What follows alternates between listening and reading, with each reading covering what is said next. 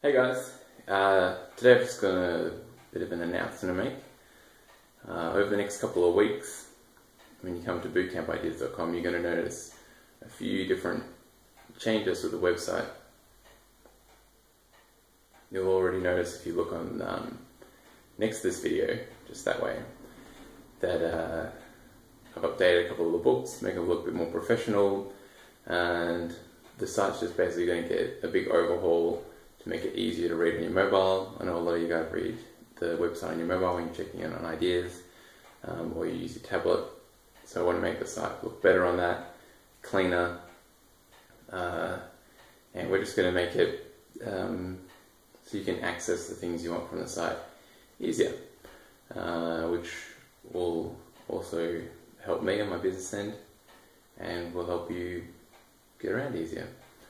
Um, one other key element I'm doing this for, which you might find interesting as a trainer, is I want to make it easier so that when new people come to the website, they know exactly the best way they can get the most out of the website.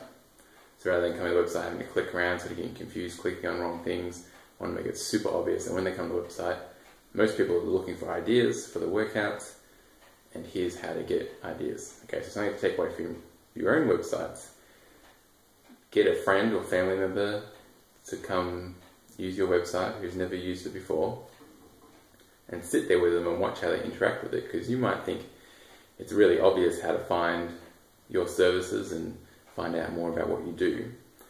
But uh, in reality, oftentimes website design can actually get in the way of usability.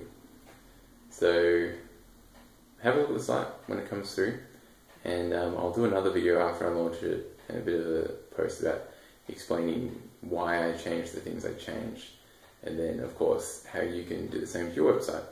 A lot of the stuff's really simple. I'm doing all this myself. I haven't hired out outside designers or anything like that, except for the new logo. Um, so yeah, it's it takes a bit of learning, but um, I've done all the hard work for you, so now I can just tell you how to do all the easy stuff. Anyway, that's it for today, guys, and I'll check back in with you tomorrow. Have a great weekend.